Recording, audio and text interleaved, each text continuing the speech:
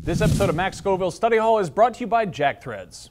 Hey, we're back in Los Santos in honor of Grand Theft Auto 5 because that's a good enough excuse for me to talk about Beverly Hills Cop.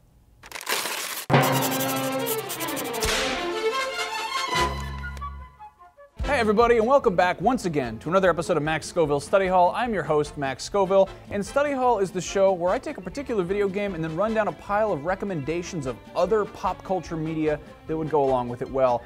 If you've been watching Study Hall since the beginning, you might recall that my very first episode was about Grand Theft Auto 5 as well. But it's a huge game, and there's really a lot to say about it. And I'm, as I'm sure you're all aware, GTA 5 takes players back to the city of Los Santos, which, for all intents and purposes, is Los Angeles. Now, LA is famous for a lot of things, but it's probably most famous for being home to the motion picture industry, so I figured today I would talk about movies exclusively. Lethal Weapon is one of the best buddy cop action movies ever, and it happens to be set all over Los Angeles. If you've never seen the first one, you are missing out. Nowadays, parts of it might seem cliched. You got the two cops from the different walks of life forced to work together and getting tangled up in a big important case, which results in them having some car chases, shooting some bad guys, and then becoming best friends in the process. The original Lethal Weapon is easily the best, and the second one holds up pretty well. And the third one's just kind of fun on the basis that you've gotten to know the characters. Plus, there's a scene where Danny Glover gets drunk and falls off a boat. My personal favorite buddy cop action comedy series, however, is Beverly Hills Cop.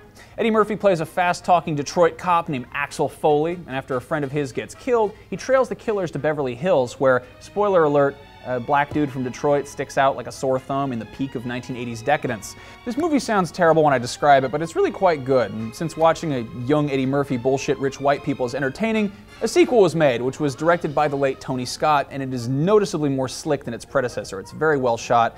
I think Beverly Hills Cop 2 is actually my favorite in the series, and I was shocked to find out that Headmaster Adam Sessler isn't a fan. I seriously thought everyone who liked buddy cop movies liked the first two movies, but apparently not. Beverly Hills Cop 3, meanwhile, pales in comparison to the first two, but George Lucas makes a totally random cameo as a guy in a hot air balloon. But hey, I'd rather watch a bad movie starring Axel Foley than a bad movie that doesn't star Axel Foley. Real talk, I've had arguments with my girlfriend about the idea of naming a kid Axel. Just saying. Next up is Speed, which, like Lethal Weapon, has been parodied and paid homage to so many times that parts of it might pack less of a punch for newcomers, but it was a totally fresh action movie when it came out. Dennis Hopper plays a mad bomber who's rigged an LA bus to blow up if it drops below 50 miles an hour, so it's got to haul ass around the LA freeway, which makes for a pretty good action movie, but it also kind of acts as sort of a tongue in cheek joke about LA, a city that's a lot more famous for its traffic than it is for its public transportation. The whole idea of a bus getting up to 50 miles an hour is ridiculous enough, but having it maintain that speed throughout Los Angeles, that's insanity. If you want a gritty ass movie about gang warfare and police corruption, then Training Day is a must see. The movie follows Ethan Hawke on his first day as a narc in South Central LA, working alongside his new boss, Denzel Washington, who's not exactly on the straight and narrow. Another crime movie to feature Ethan Hawke was Assault on Precinct 13, which is a remake of John Carpenter's 1976 cult classic, but I don't know why I said that. All of his movies are cult classics. Uh, in that movie, a group of cops are holed up inside a police station in South Central LA while the ruthless Street Thunder gang tries to break in. It's sort of like a zombie movie, and that's probably because Carpenter was actually inspired by George Romero's Night of the Living Dead. He just kind of replaced the zombies with criminals. The guy who wrote the Lethal Weapon movies, Shane Black, is mostly known for his work in the action movie genre. He just this summer directed Robert Downey Jr. in Iron Man 3, but the first time the two of them worked together was in 2005's Kiss Kiss Bang Bang, which is more of a neo noir detective mystery with an extremely funny streak. Talking about this movie doesn't do it justice, and in addition to Robert Downey Jr. being in top form and kind of making his comeback into Hollywood, Gay Perry might be my favorite character Val Kilmer has ever played. Oh my god, what is that? Oh, it's a word from our sponsor. Well, would you look at that? I can finally afford to be on a G6. On a G6.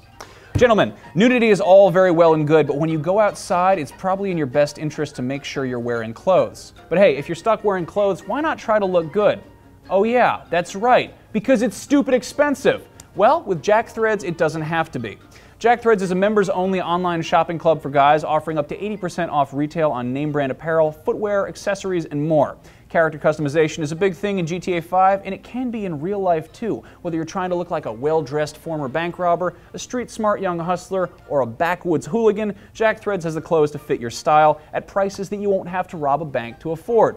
Normally, there's a waitlist to join, but I know people So if you head to jackthreads.com slash study hall, you can start shopping today. It is free to join, there's no obligation to buy anything, and every sign up helps me support my private jet.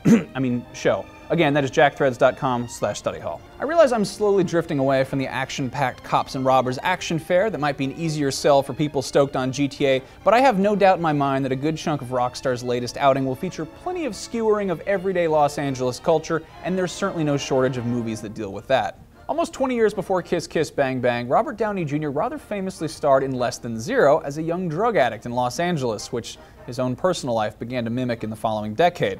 Less Than Zero was loosely based on a novel of the same name by Bret Easton Ellis, author of American Psycho, who has a history of writing about screwed up misanthropic individuals who just happen to live in Los Angeles. Another book of Bret Easton Ellis's that's been adapted into a movie is The Informers, based on a series of intertwined short stories that follow people from all walks of life in LA over the course of a week in 1983, including movie executives, rock stars, and even a vampire. Like a lot of Ellis's work, the book received mixed reviews, but the movie was pretty widely panned, probably because the vampire was left out of the adaptation. So if you like vampires, I don't know, maybe go read the book. More recently, Ellis teamed up with veteran writer slash director Paul Schrader to crowdfund their next project, The Canyons. Given that Ellis and Schrader are both known for focusing their work on some of the less flattering angles of modern society, it's fitting that The Canyon stars Lindsay Lohan as the cheating girlfriend of a trust funder movie producer played by porn star James Deen. I haven't seen it yet, but from what I've read, it sounds like a really well shot softcore porno about horrible people. Critics have been tearing it apart, but that's not unusual as far as Ellis and Schrader are concerned. In any case, it's probably the closest we're going to get to that Lindsay Lohan porno you were dreaming about back in 2004. Now, mature storytelling and character development is great and all, but if the Grand Theft Auto series is famous for one thing, it's the freedom to go on a destructive rampage with total disregard for the law. And if you want a movie about a man going on a rampage through Los Angeles, check out Falling Down. It's more of a social commentary laden thriller than a full knockdown, drag out action movie, but it's still really badass, and Michael Douglas unlocks new weapons like he's in a Metroidvania game. Anyway, Grand Theft Auto 5 is out in just two weeks, and it is torture waiting around, so hopefully some of these movies can keep you busy until then. If you got some suggestions of your own, drop them in the comments. I have no idea what we're talking about next week, but tune in anyway, because I said so. Until next time, kids, remember snitches get stitches.